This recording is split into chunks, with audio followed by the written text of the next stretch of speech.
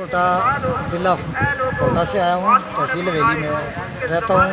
मोहम्मद फ़ारूक मेरा नाम है। तो मैं इस कंपनी का दिल के था रही से शुक्रगुजार हूँ जिन्होंने हमारी आँखों का चेकअप किया और हमें दवाई भी एडवाइस की और ये फ्री में हमें कार्ड भी मिल गया नंबर मिल गया।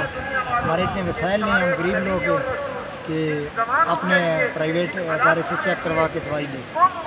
तो अदारे का बहुत मशहूर और शुक्रगुजार हूँ।